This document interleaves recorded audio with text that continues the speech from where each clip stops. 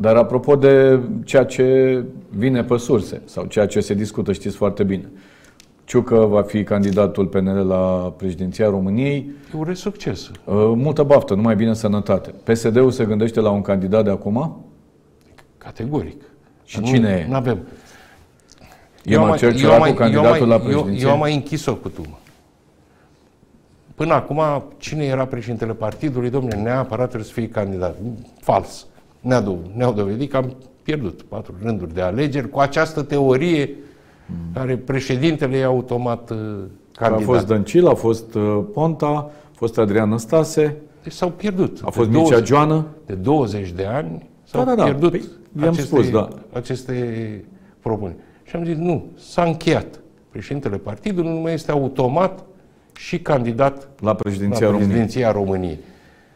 Mai mult, nu mi se pare corect ca un număr, chiar dacă ei sunt președinții de organizații, un număr limitat de oameni să desemneze, să desemneze mm.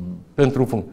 Vom merge la alegeri preliminare în fiecare județ. Mergi la talpa partidului, la firul ierbii, nu zicem politică, unde sunt și consilieri județeni, și viceprimari, și primari, și autorități locale, care Dom'le, cine dorește să se înscrie în această competiție, e o competiție deschisă și poate candida în interiorul Adică să ia de... Și se ia... Da, e un pic uh, sistemul, sistemul american de alegeri preliminare, dar vom face acest lucru și veți vedea că vom face acest lucru. Și cred că e cea mai bună decizie, fiindcă atunci toată lumea e participativă și nu există o lună de zile discuții de ce cei de la București, indiferent că tu te duci au de la Buzău, la, cine e au candidat. hotărât ei cine e candidatul și noi nu avem uh, nu avem niciun cuvânt de spus. Nu. Deci, sigur veți merge pe acest sistem de alegere de alegeri preliminare și așa mai departe pentru a fi desemnat candidatul la președinția României în 2024. Categoric. O altă știre e faptul... O da, să modificăm propuneri de modificare în statut. În adică statutul nu... partidului. O altă știre importantă pe care ați dat-o, vă gândiți ca și din 2024 să păstrați această alianță? Eu nu văd. Cu... Eu nu văd altă, altă construcție politică. Eu nu, nu oricât mi-aș dori să o, mm. să o caut, am, cu cine? Cu USL-ul, cu Aurul, V-ați gândit la o alianță cu AUR până să până să, nu, să exclus așa ceva și știți foarte bine. Da, și ce va face PNL-ul cu AUR-ul și cu DMR-ul. Adică, iarăși, chiar, chiar dacă reprezentăm două familii diferite, e oricum mai puțin neobișnuit decât am face PSD-ul cu aurul sau PNL cu aurul sau a, am văzut că USR-ul cu aurul au reușit o performanță, dar e o performanță totuși Da, până la urmă pe moțiunea limitată. pe care ați depus-o. Apropo, de ce ați avut orgoliu de a fi moțiunea PSD? A fost o chestie... Suntem cel mai mare partid din România și, în primul rând, moțiunea propusă de către USR și AUR avea o, un mare minus. USR-ul nu fusese la guvernare, mai aveau puțin și scriau de bine de USR. Dar totuși USR-ul fusese o lună la guvernare și am văzut cel puțin în zona de sănătate. De sănătate au fost sau la MIPE. Sau absolut la... catastrofali. Deci nu pot să, să mă, eu să vin să votez o moțiune în care nu scrie nimic de toată moțiunea scria de câțu. Mm-hmm. Nu care fi fost Cum comentați ce se întâmplă cu doi politicieni care au fost la vârful uh, politicii românești, și anume Traian Băsescu și Elena Udrea? Nu, mă, eu nu am, eu nu am dușmani. Am adversari. Credeți că nu aveți? Am zis-o. Nu, eu nu consider dușmani. Eu nu mă pot bucura. Pentru că ăsta e creștin. Nu, nu mă poate bucura. Ce ușor e să vorbiți când sunteți Ade- la putere, domnul Ciolacu. Ade- sunteți un bun creștin. Dar, în schimb, la fel ca și dumneavoastră, și cred că dumneavoastră sunteți mult mai bine informat decât de în legătură lumea, cu asta, da? Sunt, sunt destul de informat. Uh, oh, s-a făcut mult rău României pe timpul lui Traian Băsescu. Asta e tot ce spuneți despre creștinii ăștia doi. Deci Bun. Este... Haideți Dar nu mă bucură.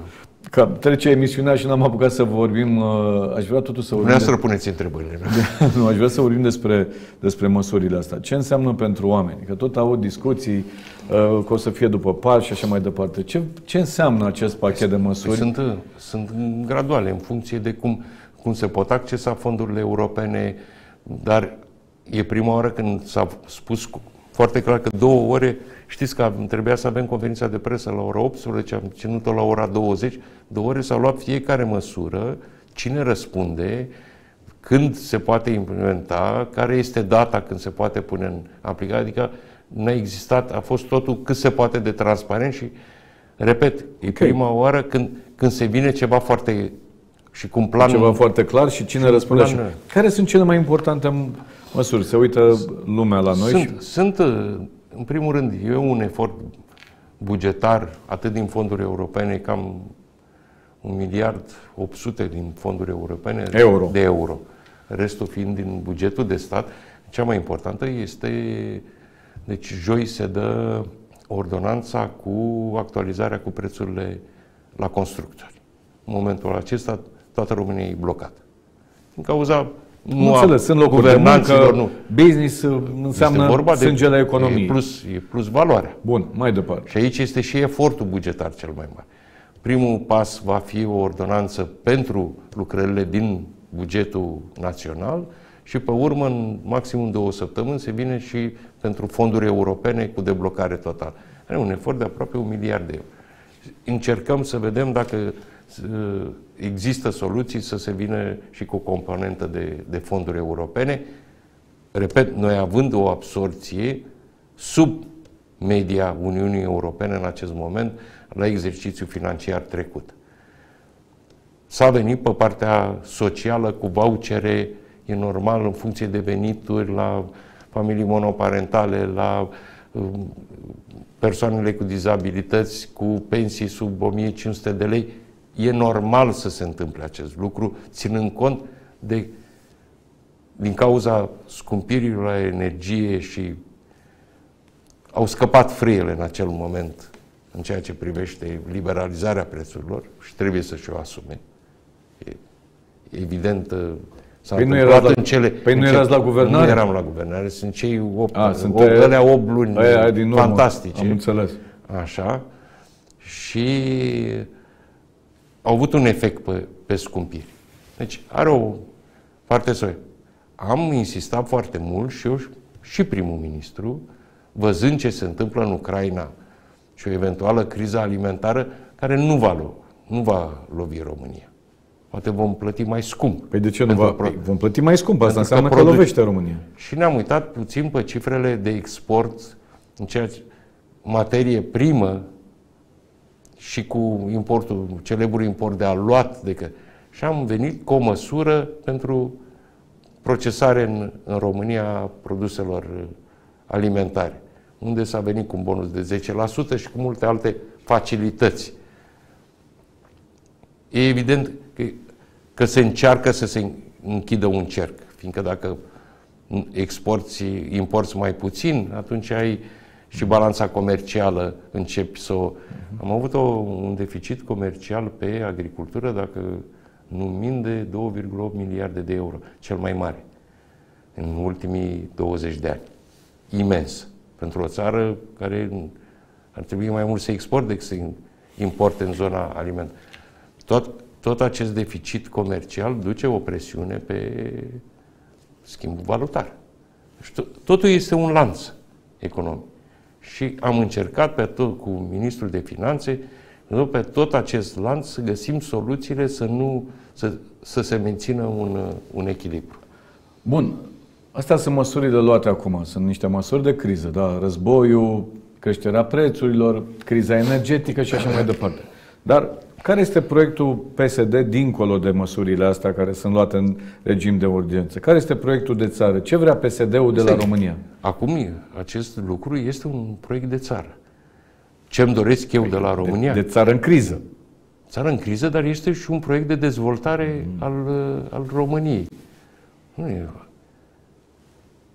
Cu toate Partea- necazurile pe care le aduce conflictul din Ucraina, pentru România s-au deschis foarte multe oportunități.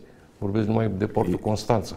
A rămas, Bun, ideea să a profităm rămas de pe urma portul acesta. Constanța, asta ține de A eficiență rămas cel mai mare port la Marea Neagră. Aud Cel asta în mai fiecare- mare. Nu, este poarta către vest. Poarta către vest. Există în momentul ăsta două, trei alternative cu gazul lichefiat. Se poate creiona și în portul Constanța acest lucru și cu V-am Georgia. auzit vorbind atunci, înainte de a dacă face... ne uităm pe, dacă, scuzați-mă, dacă Vă ne rog. uităm pe hartă, cel puțin strategic, pe câte au schimbat acest război, vom vedea că România are zeci de oportunități să le joace economic. Și de cine depinde Sunt, să le există, joace? sunt investitori străini majori în zona de auto, zonele unde sunt inima economiei, care pleacă Bun. și își caută, pleacă din calea războiului și își caută alte locații unde să vină cu investițiile. Iarăși o oportunitate fantastică pentru România. În acest moment trebuie să ne adaptăm la ceea ce se întâmplă Bun, dar hai să vorbim un pic și de proiect de țară În lume. atunci la nivel constituțional, să spunem. Știu că ați vorbit de, despre modificarea Constituției. Uh, Care ar fi modificările pe care le-ar aduce PSD în ceea ce privește Constituția? Pentru că avem o Constituție care face ca România să, să, fie, să nu fie nici republică parlamentară, nici republică prezidențială. Cred că va trebui o discuție foarte deschisă, largă, cu toată lumea care dorește să învețe ceva din, din trecut. Nu cred în modificarea atribuțiilor președintelui. În, în marea majoritate. Va trebui găsit un echilibru. Nu am nicio problemă dacă președintele României este votat de către Parlament. Nu suntem nici prima, nici ultimul stat Deci vă gândiți și la european. asta. Eu, din punctul meu de vedere, nu văd o, o mare problemă ca președintele Știți, cu toate Păi nu, de dar curce, că e același trebuie lucru. să- nu poți să-l schimbi. Trebuie nu... să, să vadă și Deci, uh, colegii de coaliție lucrul ăsta. toate Că aceste singur lucruri. nu puteți. Acum, Deci că ar putea fi modificarea, să vă gândiți la modificarea avem, avem o Constituției. propunere fără penal în funcții publice. Sunt total de acord. Bun, să nu, se stați un pic că modifice le luăm pe rând. A, În ceea avem, ce privește modificarea Constituției, care să facă alegerea președintelui de către Parlament, că asta ar rezolva multe dintre, toate, dintre problemele pe care da, s-ar România le-a închide, avut. s-ar, s-ar închide în un, ultimii un, 32 un de ani. cerc de, de ambiții și Ați ar discut- fi cazul să învățăm din Ați ceva ce n-a discutat, ați funcționat. discutat cu PNL despre asta acum, până acum? Nu, N-am avut discuții punctuale. Este evident că Constituția trebuie- are anumite aspecte care trebuie să le schimbăm, fiindcă e, Bun, mai e departe. normal, a mai evoluat departe. uh, societatea. Fără penal în funcții publice. Total de acord. Ok. Să se intre la vot. Avem problema cu regiunile. N-am făcut-o când trebuie. N-am făcut-o când a făcut-o Polonia, au revenit și în loc să depună 10.000 de proiecte pe fonduri europene, au depus numai 10 proiecte pe fonduri Adică europene, România să fie- fiind, fiindcă au făcut proiecte integrate.